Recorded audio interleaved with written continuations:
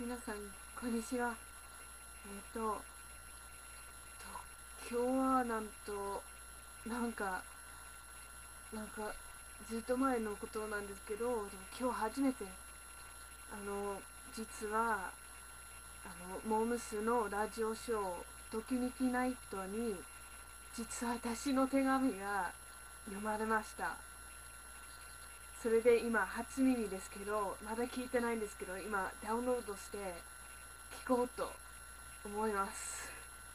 初めて。思いますね。はい。では次ハワイのカルネームサンミさんからです。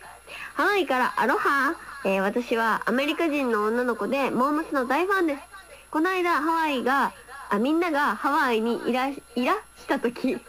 可愛いいですね。いらた時私と他のファンはシェルの外に集合して見ていました。それで最後にハンドシェイクの時ちょっと入らせてもらおうと思ったんですが追い出されてしまいました。でも負けないで外で出待ちをしていたらみんなをちょっとでも見れてすごい嬉しかったです。ハワイにもモームスのファンがいっぱいいるので今度はハワイの人用にも、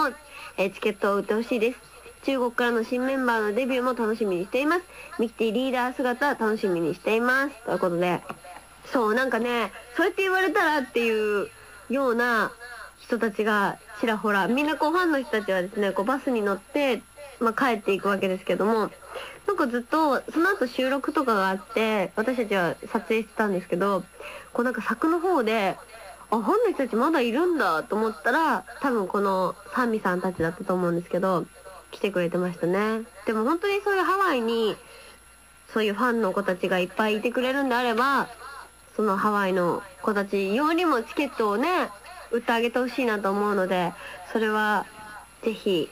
つんくさんたちに言ってみたいなと 言うだけはね言ってみたいなと思いますのでぜひ皆さんまた機会がある時は、まあ、日本にもね来る機会があったらツアー待ってますので、えー来てください。ということでコーナー以外の普通のお便り、えー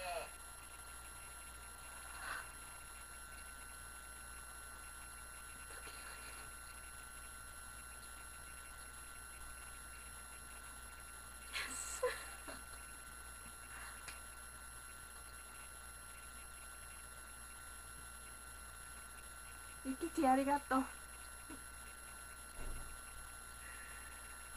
また会いたいです。あのもしできれば私日本に行くんであのギャンブのコンサートに行きたいと思います。楽しみにして。あー私ボータっぽい。嬉しい。じゃあそれだけでした。